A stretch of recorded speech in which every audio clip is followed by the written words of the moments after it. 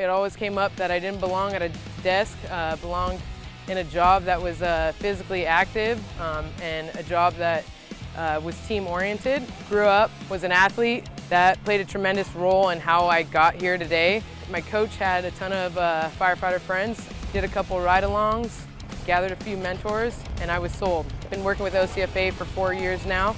Been a medic for a year and a half now. Loving the new position, loving the job.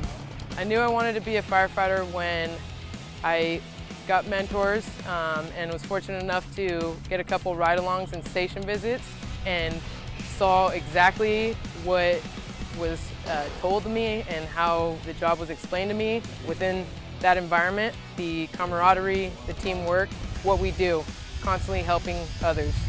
This career is amazing and the four years that I've been fortunate enough to serve the community of Orange County, it has given back everything that I've put forth.